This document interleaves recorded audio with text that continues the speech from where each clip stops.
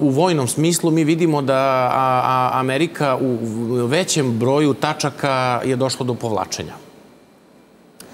E, jedino gde nisam video e, povlačenje, odnosno gde sam video da je, da je došlo do, do, do, do jednog razvoja na terenu koje nije bilo u korist istoka, je na primjeru Nagorno Karabaha.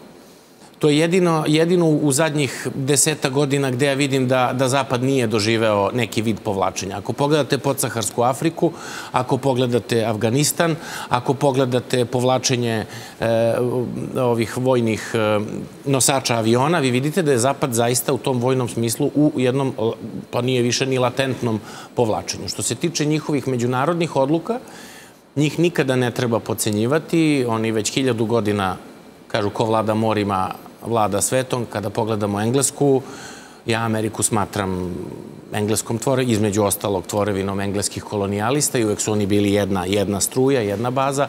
E, ne treba ih pocenjivati. Oni su uvek bili geopolitički mahiri i uvek su zašto da su razmišljali dugoročno.